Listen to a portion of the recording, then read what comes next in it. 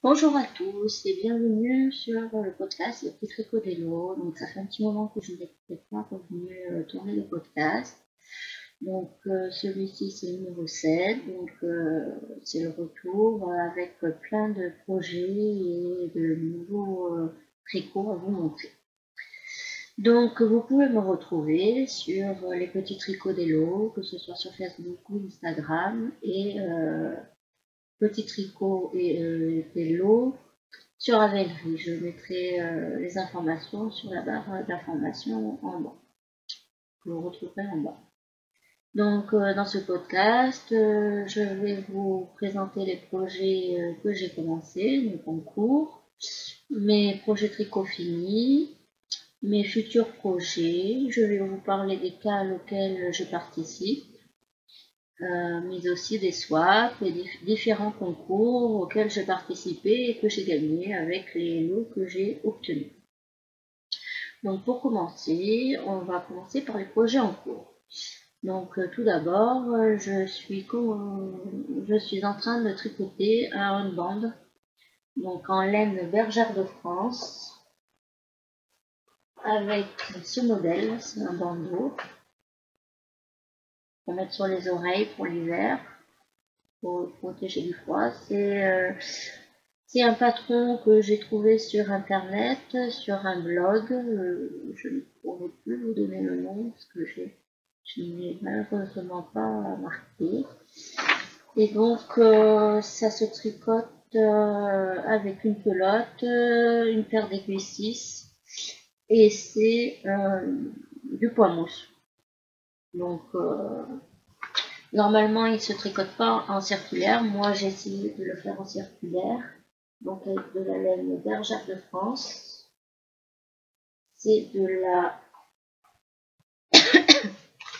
de la laine euh, bergère de France, Fileco, Aran, donc il se tricote en 5. Donc moi je tricote en 5 avec des aiguilles circulaires 5. 60% acrylique, 18% acrylique recyclé, 12% de laine, 6% de polyamide. Voilà l'étiquette. Avec euh, donc le coloris c'est un bleu, je sais pas si un numéro de coloris, éco bleu. Éco bleu ça s'appelle. Donc c'est de la laine bergère de France. Je sais pas si vous voyez. Voilà. Donc il y a des petites taches euh, de pailleté. Donc euh, après je vous parlerai d'un projet que j'ai avec eux. Et donc euh, voilà mon début. Bon c'est vraiment le début. J'espère que ça va aller. J'ai à peine de commencer. Donc, ça me paraît bien petit. Donc on va voir.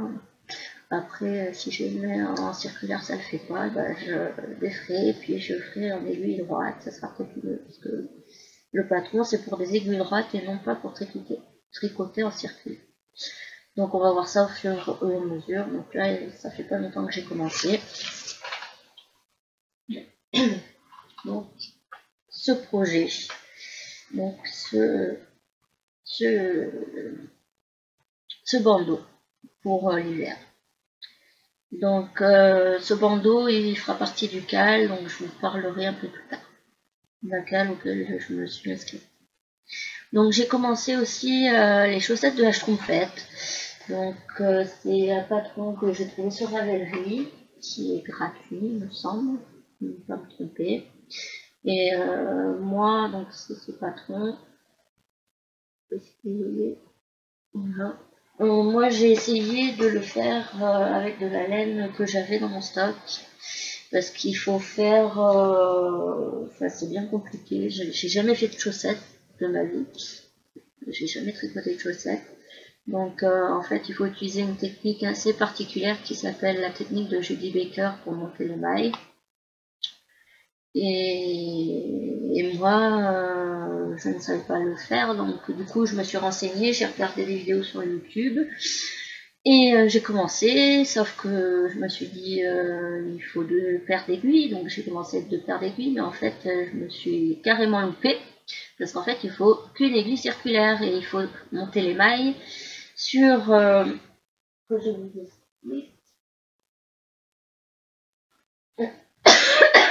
Donc on a on a l'aiguille circulaire. Moi j'en ai pris deux et en fait il faut commencer à tricoter à monter 8 mailles d'un côté et 8 mailles de l'autre côté, ce que je n'avais pas compris du tout. Donc du coup je vais tout redéfaire parce que en fait c'était juste pour euh, tester pour euh, pour essayer de voir euh, la méthode de Julie Baker, mais pour euh, bien m'entraîner. Maintenant que je sais comment il faut faire, et eh ben, je vais prendre de la belle laine que j'ai dans mon stock, qu'on m'avait envoyé lors d'un SWAT pour euh, commencer ces belles chaussettes. Donc là, j'ai fait juste un test pour voir un peu ce qu'il en était et voir si j'étais capable de le faire. Donc normalement, c'est je voulais les faire pour le dans le cadre du cal euh, de, mes, pardon, de Mélina le, le petit panda, euh, les 12 petons du général général. Mais je crois que ce, cal, je vous en parlerai un peu plus tard, mais je crois que je vais l'abandonner. Donc voilà pour ce qui est des projets en cours. Donc il n'y en a que deux. Par contre, j'ai pas mal de projets finis, donc euh, on va commencer par les projets finis. Donc on va continuer. Donc le fameux châle Pyros de Mélina Le Tipanda dont je vous ai parlé au dernier podcast. Donc il est fini, ça y est. Pardon. Donc il est fini.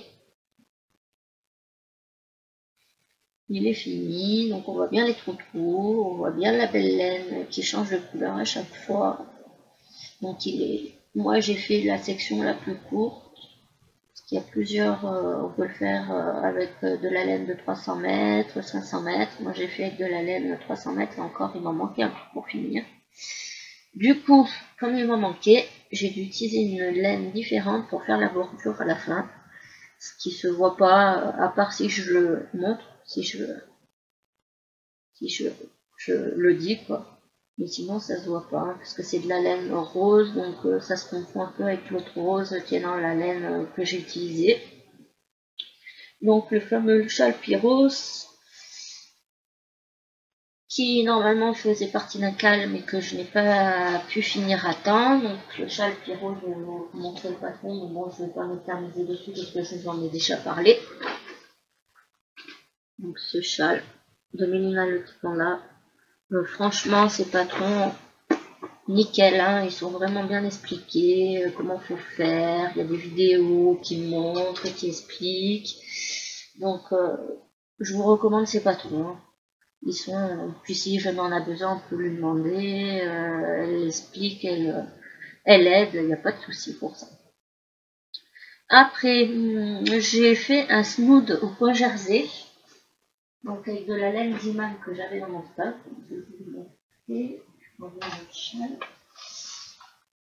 C'est un gros snood.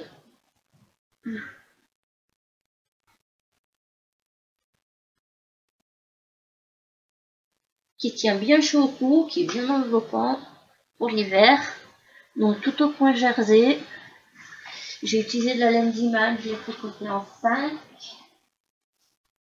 Donc, euh, le patron, bah, en fait, euh, non, il n'y a pas forcément de patron, puisque, en fait, j'ai fait que de la, du point jersey. Voilà, donc un de point jersey pour l'hiver qui tient bien chaud, un beau rose, je l'adore. Je l'ai pas encore mis parce qu'il fait, il fait bon encore, donc il fait pas vraiment très très froid. Et il est bien chaud. Donc, euh, lorsqu'il fera bien frais, je pourrai le mettre. Donc, en fait, euh, je l'ai je l'ai doublé parce qu'il est très très grand, comme vous pouvez le voir. Donc là, on voit l'envers. Voilà l'endroit. Et donc, euh, il est vraiment très très grand. Donc, du coup, je le retrousse qui me permet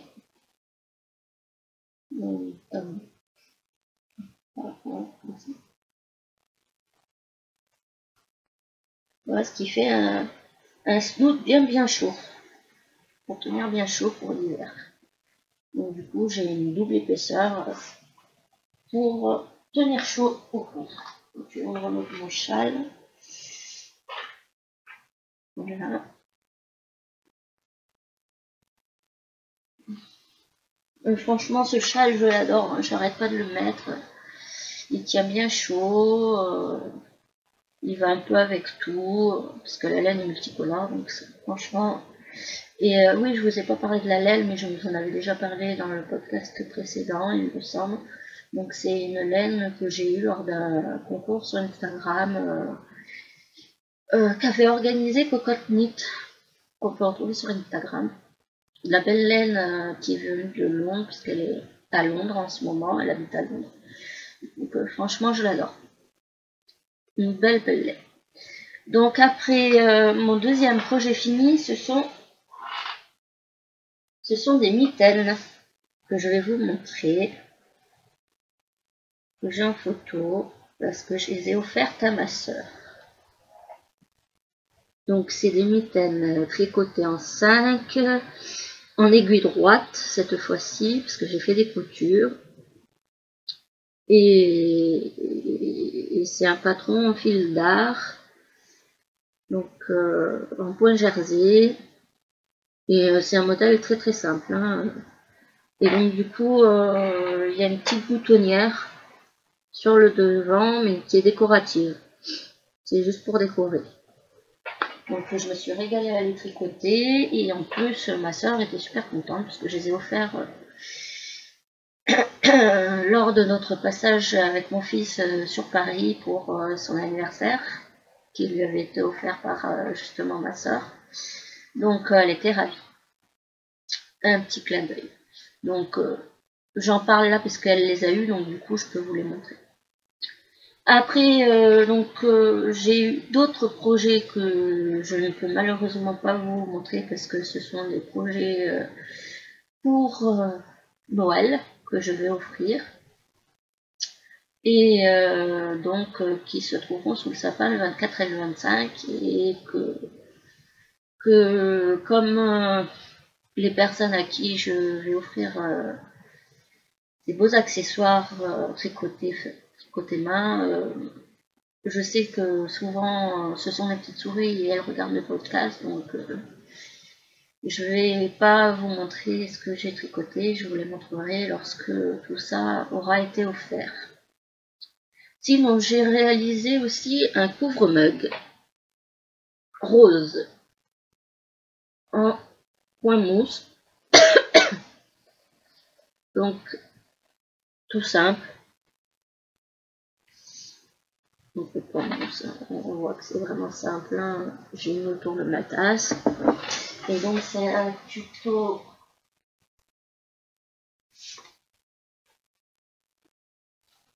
un tuto de Nissa Rose. Voilà. Parce qu'en fait, je me suis inscrite euh, à un défi tricot au mois de novembre pour euh, qui consistait justement à tricoter ce petit couvre-tasse, ce couvre-mug au point tricot et euh, on devait ensuite mettre la photo sur Instagram et sur Facebook et obtenir le, et obtenir le plus de likes possible. Voilà, donc je vous en parlerai après parce que ça concernera les concours auxquels j'ai participé. Donc euh, très facile à tricoter, je vais faire même pas même pas une journée, en, une après-midi. Très court, très, très sympa, ça, ça décore les tasses, j'adore. Donc j'ai réalisé ce couvre-mug. Donc après j'ai tricoté aussi des pochettes. Donc plusieurs petites pochettes. Donc euh, malheureusement je peux pas vous les montrer parce que je les ai offerts euh, lors de swap. Euh, auquel je participais et, que j'ai envoyé dans des colliers. Mais j'ai aussi tricoté une petite pochette.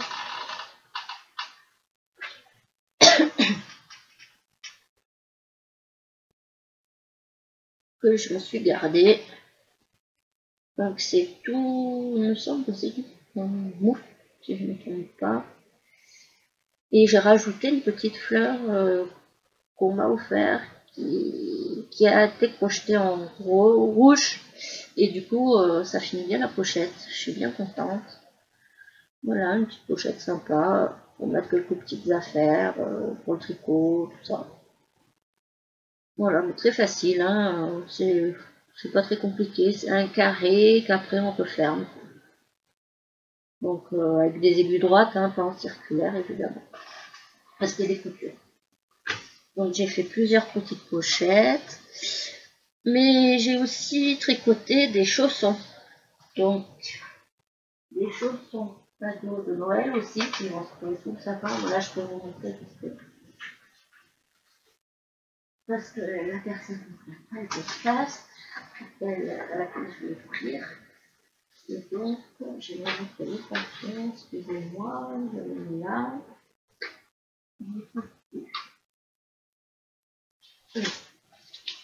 Donc, euh, c'est un patron d'Aglaé Laser qu'elle a offert. On peut trouver sur son blog euh, montricotier.com. Donc on peut trouver, on peut la trouver sur Ravelry. Mais elle a un groupe aussi, euh, euh, elle a un groupe sur Ravelry, excusez-moi, et on peut la trouver aussi sur Instagram. Donc Aglaé Laser. vraiment, c'est des chaussons très très très très très faciles d'accès. Pour euh, des personnes qui débutent, on peut les faire, il n'y a pas de souci, j'ai eu aucun souci, le patron est très bien détaillé. Il y a du point mousse, du point jersey et des côtes. Euh, je ne vais pas vous expliquer le patron, il est gratuit, mais bon après. Donc voilà les fameux chaussons. Je sais pas si vous voyez. Des petits chaussons rouges dans les tons de Noël qui vont être sous le sapin que je vais offrir.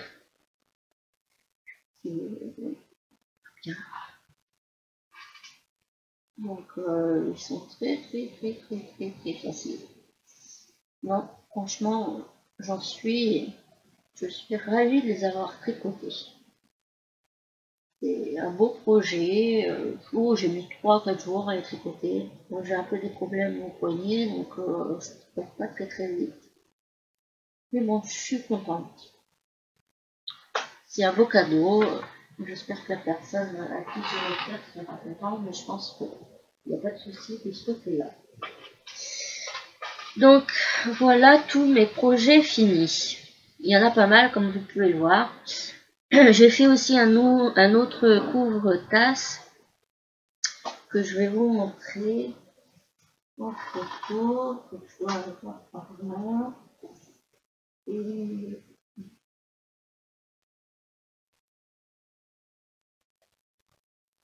que je vais offrir aussi Noël, dans les cadeaux de Noël, et bientôt Noël, donc euh, j'ai fait pas mal de petits cadeaux aux mains, et je suis plutôt contente du résultat. Donc euh, je vais vous parler d'une pochette que j'ai offert. Je pense que la personne l'a eu, donc je peux peut-être vous la montrer. Euh, normalement, c'est un swap, donc euh, je pense qu'elle m'a dit qu'elle l'avait reçu, donc je vais vous montrer. C'est une autre pochette euh, que j'ai tricotée au point mousse avec une petite fleur aussi en rouge que j'ai tricoté sur le côté. C'est très sympa, ça fait un beau cadeau. Donc voilà pour la... Et voilà le fameux couvre-tasse que j'ai réalisé aussi au mousse, que je vais offrir à moi.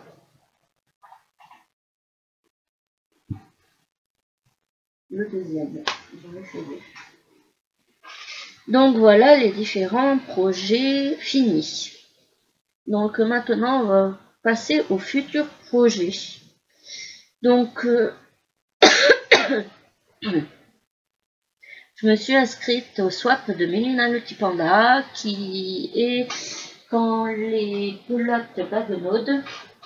Donc en fait c'est un swap qui, commence en janvier, mais on pouvait commencer quelques projets en décembre, là, début décembre. Et il y a différents thèmes pour chaque mois. Donc ça commence en janvier ça finit en décembre. Et euh, par exemple pour le thème de janvier, c'est Vive le vent d'hiver. Donc après... Euh, on a juste le thème et on peut faire euh, ce qu'on veut, des accessoires, des bonnets, des écharpes, euh, des pulls, des gilets. Euh. On peut faire du tricot, on peut faire du crochet, on peut faire de la couture. c'est pas restrictif, donc c'est un cal vraiment ouvert à tous. Donc là, les inscriptions sont finies. Alors, moi, j'ai commencé. Donc, j'ai fait, j'ai mis une de mes pochettes dans le projet pour euh, le thème du mois d'avril, Tic Tac Projet Express, tricot rapide. Donc c'était une pochette que j'ai réalisée en encore deux jours, même pas. Et j'ai mis les fameux chaussons d'Aglaé Laser dans le thème bonus, une balade au Canada. Donc euh, qu'est-ce qu'il faut pour aller au Canada? Donc moi j'ai mis les petits chaussons. Euh, parce qu'il faut bien ça pour se tenir au chaud le soir, au coin du feu, quand il fait bien froid au Canada. Voilà, après, donc, euh, du coup, euh, là, je suis en train de faire euh, le fameux bandeau dont je vous ai parlé, qui fera partie du thème de janvier, Vive le vent d'hiver. Et je vais me faire en plus des mitaines. Voilà, après, en février, un autre thème, coup de foudre, et ainsi de suite jusqu'en décembre. Et on a des thèmes bonus si jamais il y a un thème qu'on n'arrive pas à faire. Donc on peut utiliser euh, soit un des thèmes bonus, soit utiliser tous les thèmes et rajouter les thèmes bonus en plus. Voilà, donc euh, on a jusqu'en décembre pour euh, tricoter chaque mois un petit projet différent avec un thème bien particulier. Donc après, je me je voudrais faire aussi le châle Psytacos de Mélina. Donc j'aimerais je vous montrer. J'avais commandé parce qu'il faisait, elle, s'est mise en collaboration avec Candy Wool. Donc euh, euh, Candy Wool sur son site avait un petit pochon pour ce cal avec à l'intérieur donc justement le patron qui était gratuit que je me lance que je le fasse donc le petit tacos le patron, euh, bon normalement il est payant ce patron, mais c'était tout un ensemble. Et dedans, les fameuses laines pour faire ce cal, parce qu'il faut de laine. Il y a besoin d'une laine... Alors attendez. Il y a besoin de deux écheveaux, donc 100% euh, fil mérinos, 400 mètres, 100 grammes. Donc euh, il y a un ton neutre, donc là moi c'est un rose pâle. Et il y a un ton euh,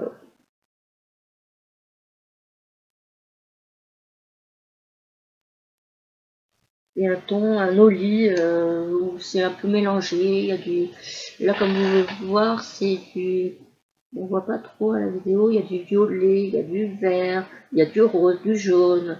Ça, ça va faire vraiment un petit petit tacos, donc 100% mérinos. 100 grammes, donc il y a 400 mètres, ça se tricote en 2,5, 3,5. Donc les fameuses laines de Candy Wool, elles sont vraiment toutes douces. J'adore. Donc euh, je vais me régaler encore à faire ce beau châle. Il y avait un cal, moi je me suis pas inscrite pour le faire, mais je me dis que je pourrais euh, regarder ce cal si jamais, et puis demander à Mélina si jamais il y a besoin, puisque c'est un patron de Mélina le petit panda.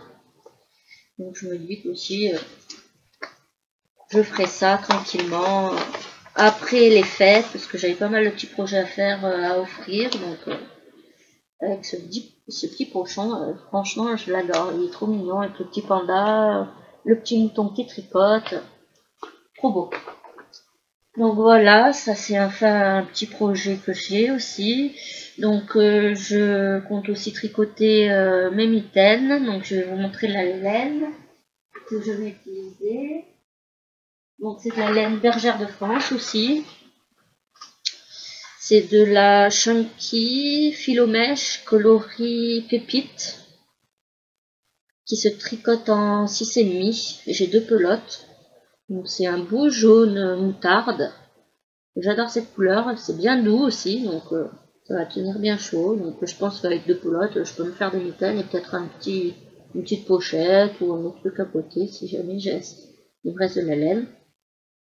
Donc euh, laine bergère de France. Donc ça, ça sera pour faire des mitaines. Voilà. Et bah après, peut-être faire d'autres accessoires, puis peut-être d'autres châles, on verra au fur et à mesure. Pour le moment, voilà. Voilà ce que je voudrais faire. Et puis peut-être après d'autres projets, on verra.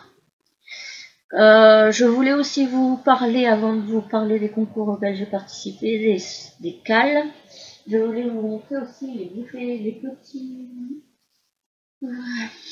les petits anneaux marqueurs. Donc, je vais les chercher que j'ai réalisé. J'ai fait.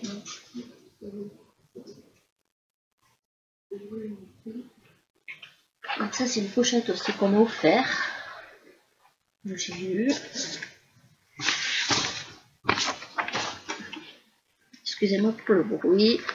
Donc je mets tous mes petits marqueurs, je les mets là-dedans. Donc je voulais vous montrer ce que j'ai réalisé. Alors si j'arrive à les trouver. Celui-là c'est dessus. Je vais vous montrer.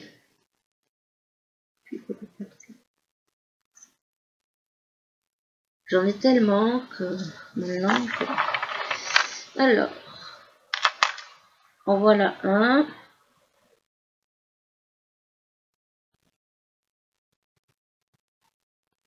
Donc voilà, on voit avec euh, c'est un petit gâteau. Donc j'en ai un comme ça.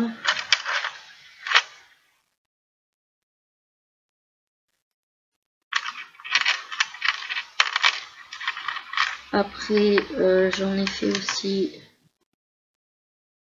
sur le thème de Noël que je vais vous montrer.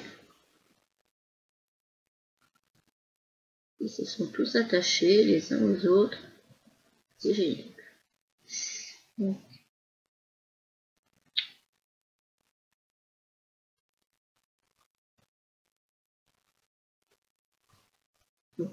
verra après. Là, j'en ai deux. J'en ai un avec un sapin. Si vous voyez. Petit sapin de Noël. Un autre. Euh. C'est super.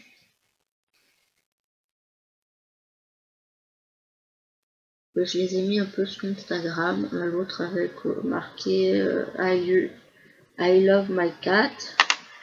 Donc, euh, celui avec le sapin, je vous l'ai montré tout à l'heure. Sapin de Noël. Voilà. J'en ai un avec un cerf.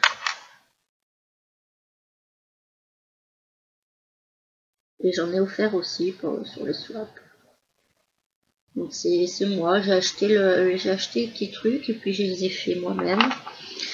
Euh, je les ai réalisés. Bon après je vais peut-être pas tous vous les montrer, mais parce qu'il y en a pas mal. Je vais en montrer un autre peut-être. Je vais vous en montrer deux, deux trois autres, puis c'est bon. Parce que j'en ai fait quelques-uns depuis que j'ai tourné l'ancien podcast, je l'avais jamais fait, puis là je, je me suis lancée et ça me plaît bien. Donc je peux vous montrer celui-là avec le petit sapin aussi dans le cadre de Noël. Avec la petite cloche au-dessus. Il y a celui-là avec le petit papa Noël et c'est très sympa aussi.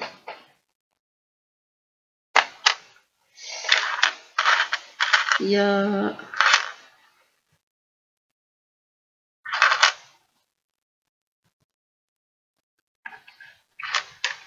Ben voilà, en gros. Euh,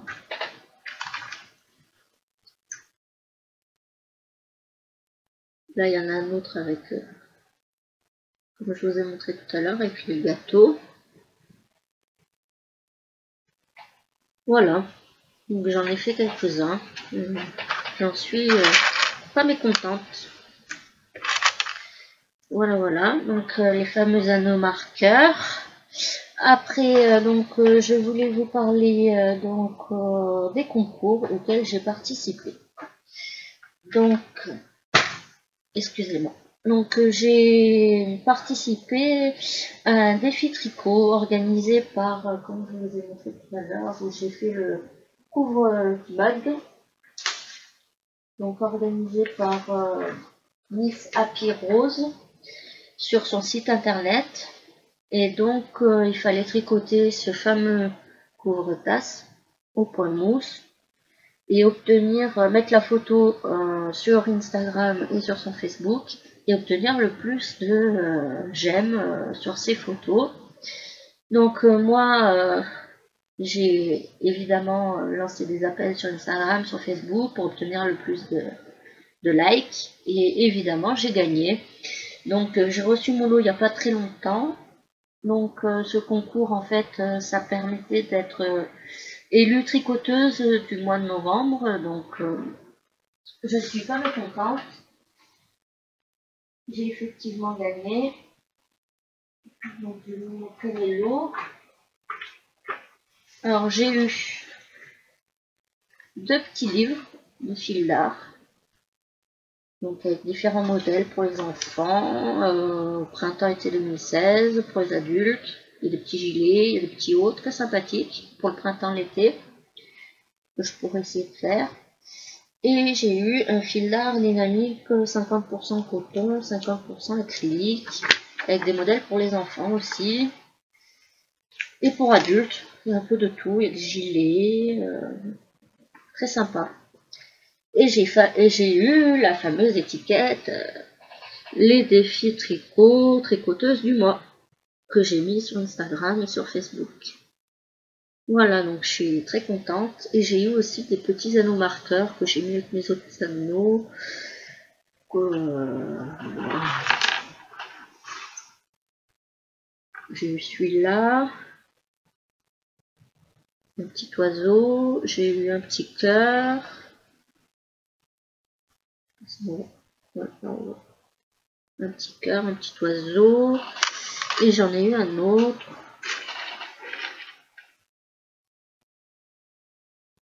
Une petite fleur. Enfin, trois, quatre petits anneaux marqueurs, très sympa aussi. Voilà, donc je suis bien contente d'avoir participé. Et peut-être que d'ici euh, l'année prochaine, je ferai peut-être ce défi, suivant les... Parce qu'à chaque fois, il y a des modèles différents à tricoter, donc euh, c'est sympa, ça permet de découvrir des modèles tricot. Donc voilà. Et je remercie tout le monde, tous ceux qui ont bien voulu euh, participer et euh, me permettre de gagner ce beau défi tricot. Donc après j'ai fait, euh, j'ai participé à un concours sur Instagram euh, qui est organisé par Tricot Edit et j'ai gagné une super laine bleue avec un petit pochon. C'est envoyé dans un petit pochon en lin. Et une laine d'une couleur. Donc euh, c'est de la table yarn, Tristan, 100% super wash merino sport weight, 100 grammes, il y a 300 mètres, Lady of Lake ça s'appelle. Et elle est douce et elle est d'un bleu, il y a un peu de bleu foncé, bleu pâle, bleu clair, bleu ciel, elle est magnifique. Je pense que je vais me faire un châle avec une écharpe, je vais voir. Donc encore un, beau projet euh, en devenir. Franchement, elle est toute douce. Je suis ravie. Et en plus, euh, du coup, euh, il fallait inviter quelqu'un aussi. Donc j'avais invité ma soeur. Et ma soeur, du coup, a gagné un autre écheveau de laine bleu un peu plus foncé. Donc elle était aussi ravie et enchantée de son lot. Après, j'ai participé à un concours aussi sur Instagram sur euh, organisé par l'espace des créateurs et j'ai gagné une carte cadeau Etsy pour aller sur le site Etsy et acheter pour 20 euh, euros. Donc là, je me suis commandé un petit package pour euh, essayer de faire de la teinture sur laine. Donc, je devrais le recevoir d'ici quelques temps. Donc, j'aimerais me lancer et tester, faire des tests de teinture pour voir un peu pourquoi pas, si ça me plaît, continuer après. Donc on verra, euh, c'est un petit test, voilà. Donc euh, je voulais aussi vous parler, donc euh, effectivement, je, vous ai montré tout à l'heure les différentes laines bergères de France que je vais utiliser, que je suis en train d'utiliser justement pour tricoter mon bandeau et que j'utiliserai pour faire euh, mes mitaines. Donc c'est des laines qui m'ont été envoyées par Bergère de France pour que je teste leur laine. Et dans le petit euh, carton qu'ils m'ont envoyé, il y avait donc deux pelotes comme ça, comme je vous ai montré tout à l'heure, Bergère de France. Les deux pelotes bleues que je vous ai montré que je vais utiliser pour faire mon, ce bleu là, faire mon, bandeau. Il y avait du fil Lumis, deux, deux petites pelotes, oui.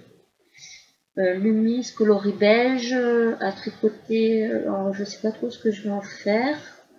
Si vous avez des idées à me, à me donner, parce que j'ai pas trop d'idées pour. Euh, je sais pas comment le tricoter. Euh, ça se tricote en. On va tomber en 5 aiguilles 5. J'en ai deux. C'est du. Oui, coloris beige argenté. Très joli aussi.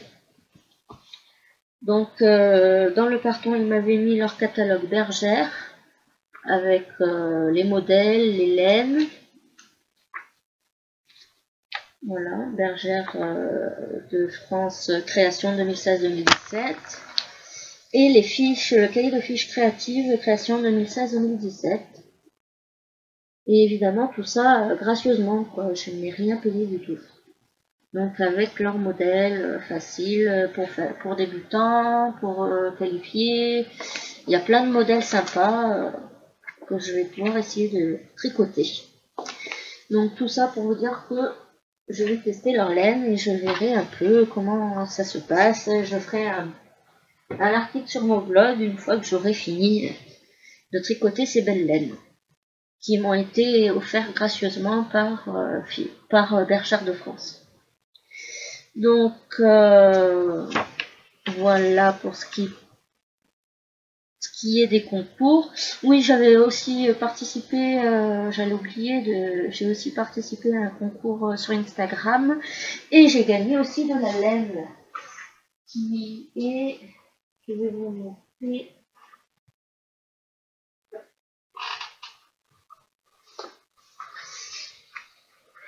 J'ai pas mal de projets à faire, donc euh, c'est de la garne sortiment ça vient d'Allemagne. Et ça se tricote en 3-4. Et c'est coloris. Euh, je sais pas si un coloris. Il n'y a pas l'air d'avoir coloris. Bon, c'est un beau bleu, euh, bleu vert. Euh, toute douce aussi la laine. Une laine blanche dans les mêmes, la même catégorie à 50 grammes à tricoter en 3-4 aussi. Et euh, des petits écheveaux avec, euh, on voit, euh, il y a bleu, blanc, bleu marine, vert, et il y en a 4. 4 comme ça, donc pourquoi pas peut-être faire une chaussette avec. Je sais pas trop combien il y a de laine dedans, mais ça me paraît bien sympathique des belles couleurs aussi. Donc, euh, il faut que j'essaye de trouver des projets pour cette belle laine aussi. Donc voilà les différents concours que j'ai gagnés. Maintenant, on va passer au cal auquel je participe. Donc je me suis inscrite à plusieurs cales. Donc tout d'abord sur le groupe euh, les Pro, Proto Delphi AP. Donc euh, je me suis inscrite pour, faire le cal à bas le stage et le cal motive-toi pour Noël. Donc là-bas, le stage, ça consiste à utiliser euh, la laine qu'on a dans son stage. Donc euh, la laine qu'on a, qu'on a chez nous et qu'on n'arrive pas à utiliser. Pour faire des petits projets, ce qu'on veut en fait, on peut tricoter tout ce qu'on veut, tant qu'on utilise de la laine qu'on a dans son et non pas de la laine qu'on achète et qu'on utilise dessus. Donc, euh, donc ça c'est le cal à balostage et le cal motive-toi pour Noël, c'est un cal euh, qui consistait à tricoter des petits euh, accessoires, des, du tricot main qu'on allait offrir à Noël, donc pour les cadeaux de Noël. Donc sur le cas la balestache, j'ai gagné un patron Delphi, donc le col Maha qu'on peut trouver sur Ravelry. Après, je me suis inscrite aussi sur le groupe Le Cal des Tricopines. Donc, euh, c'est un cal euh, pour aussi déstacher la laine. Donc, ça s'appelle le cal qui déstache. Il fallait faire cinq projets, euh, soit châle, châle, écharpe, snood. Donc, moi, j'en ai fait quatre. J'ai fait mon châle pyros et j'ai fait différents autres projets de snood. Et euh, justement, euh, il m'en reste plus qu'un pour finir ce beau, ce bocal. Parce qu'il faut en faire 5 en tout, moi j'en ai fait que 4. Après, je me suis inscrite sur le groupe d'utilisatrice 42, qui a ouvert un groupe aussi. Et euh, elle a fait un, cal aussi pour les cadeaux de Noël. Donc je me suis inscrite et j'ai mis différents projets tricotés que je vais offrir à Noël. Et puis, puis aussi, comme je vous ai parlé euh, auparavant, je me suis inscrite sur le groupe de Mélina Lotipanda. Donc, je m'étais inscrite depuis un moment au cal des 12 petons du Var général. Et puis, finalement, ben, finalement, euh, n'ayant pas, euh, j'ai fait que le, sur ce cal, j'ai mis mes, les fameuses mitaines que j'ai offertes à ma soeur et les chaussons que je viens de finir tricoter. Euh, donc, du coup, je vois pas l'intérêt parce que ce cal est fini en mars et j'aurai pas le temps de faire 12 euh, paires de chaussettes. Donc euh, du coup j'abandonne un peu. Je m'étais inscrite dans l'idée d'essayer mais bon. On n'y arrive pas on n'y arrive pas hein, on va pas persévérer voilà donc du coup elle a ouvert un autre cal donc euh, pour l'année 2017 donc le cal des pelotes qui bagonnodent quand les pelotes bagonnodent donc euh, qui commence en janvier, qui se termine en décembre. Donc euh, je vous ai parlé des différents projets que j'ai déjà euh, inscrits sur ce cal.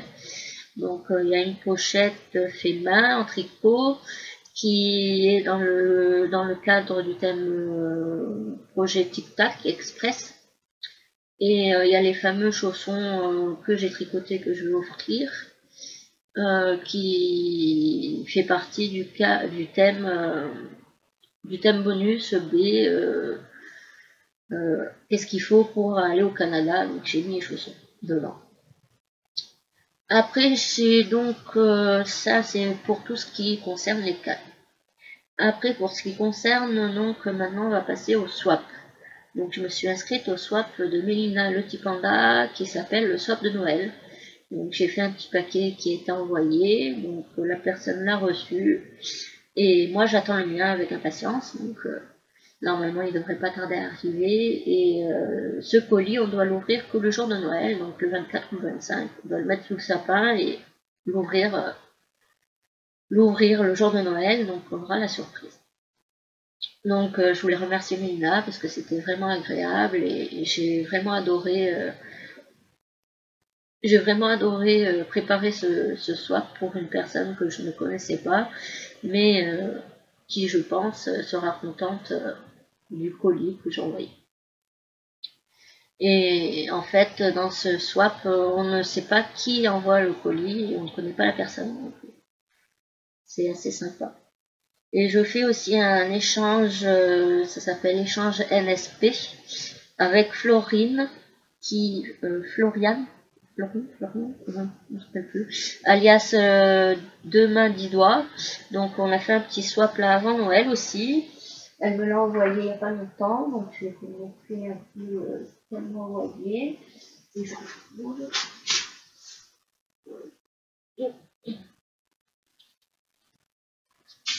Donc dedans ce swap, dedans ce swap, il y avait une petite pochette tricotée main. avec à l'intérieur des petits sachets de thé. Que j'ai pas encore euh, ouvert, un petit gel pour les mains, pour se nettoyer les mains, des petits des petites pâtes de fruits, puisque c'est Noël, et du nougat. Donc voilà, j'ai pas encore tout dégusté, j'ai pas encore dégusté ces beaux, beaux petits friandises, ces belles friandises. Donc ça c'est le swap de Noël et dedans elle m'en fait elle-même une laine qu'elle a teinte elle-même d'un rouge. Ah, j'adore. J'adore. Je suis fan. Donc voilà, elle m'avait fait, elle m'a mis ça. Euh, je crois pas qu'il y ait autre chose. Bon, c'est pas mal, c'est sympa, c'est un petit swap. Bien sympathique. Et on avait fait un swap aussi, euh, parce qu'on fait un swap pour les quatre saisons. Donc euh, on a fait un swap en automne. Et dans son swap, bah, elle m'avait mis des friandises, mais je les ai mangées. Et elle m'a mis aussi une laine, une laine teinte main bleue. Donc euh, j'ai aussi un beau projet à faire. Il y a 300 mètres, je crois. Donc je vais pouvoir faire un châle avec une petite pochette qu'elle avait fait tricoter, euh, tricoter, qu'elle avait cousu elle-même. Donc euh, qu'elle a fait elle-même. Une belle pochette rouge. J'adore. J'aime le rouge en plus. Donc voilà. Donc dedans j'ai mis ces petits écheveaux, ces pelotes que je garde précieusement pour faire un beau, beau, un bel ensemble. Un châle, des chaussettes, je vais voir. Voilà, donc euh, les différents, euh, vous savez un peu euh, tout ce que j'ai fait, tout ce que je vais faire prochainement. Donc c'est un podcast qui est un petit peu plus long que d'habitude, parce que j'avais pas mal de choses à vous raconter depuis le temps que je n'avais pas tourné. Je crois que j'avais le dernier date de septembre, donc ça fait 3-4 mois. Donc j'avais pas mal de choses à vous dire. J'espère que ce, podcast vous plaira. Euh, je vous remercie d'être toujours autant aussi nombreux à me suivre et, et je vous invite, si vous ne l'avez pas encore fait, à vous abonner à ma chaîne, à vous abonner à mon Instagram, à aller voir aussi mon blog que je mets à jour euh, régulièrement où vous pourrez trouver tous mes petits projets que j'ai tricotés. Euh, donc je vous souhaite de passer de bonnes fêtes de fin d'année en famille, de fêter un bon Noël. Euh, je vous souhaite plein de choses, plein de beaux tricots, que vous vous amusez bien. Et puis je vous dis à bientôt. N'oubliez pas de vous abonner et de commenter euh, ce podcast. À bientôt, bye